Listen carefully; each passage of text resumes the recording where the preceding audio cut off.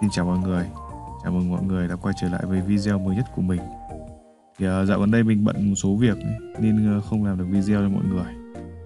Thì uh, theo thông báo mới nhất của nhà phát hành Thì uh, trong ngày mùng 3 tháng 3 Sẽ có bản cập nhật mới cho đợt sự kiện mới nha mọi người.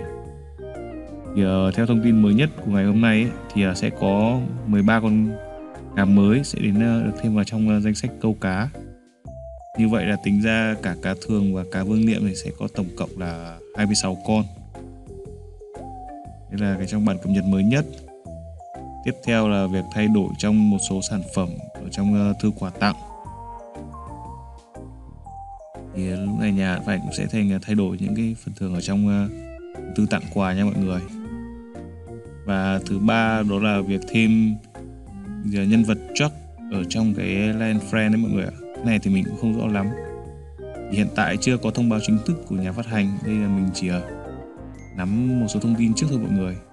Thì ờ, mình lên ờ, review sơ qua cho mọi người. Chờ cho nhà phát hành ra cái thông báo chính thức thì mình sẽ tiến hành làm video gì video cụ thể cho mọi người nhé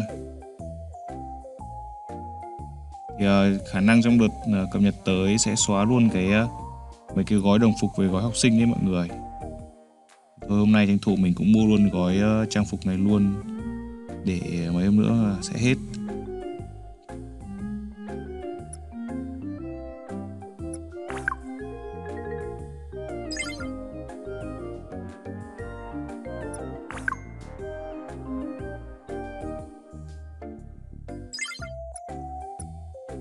Thôi chết rồi mình mua hai gói rồi mọi người ạ. Thôi thì mua xong là mình sẽ đi uh, học luôn nha mọi người. Tham gia đi học luôn. Mặc trang phục đi review học luôn.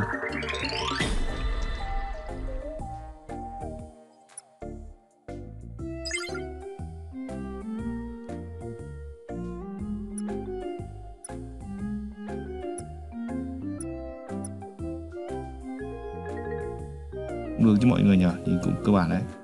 Video của ngày hôm nay đến đây là kết thúc nha mọi người nếu mọi người thấy ờ, cái video về thông báo trong cái bản cập nhật mới nhất của ngày mùng 3 tháng 3 của mình mà bổ ích thì ờ, đừng quên cho mình một like, một subscribe và một ờ, chia sẻ nha mọi người.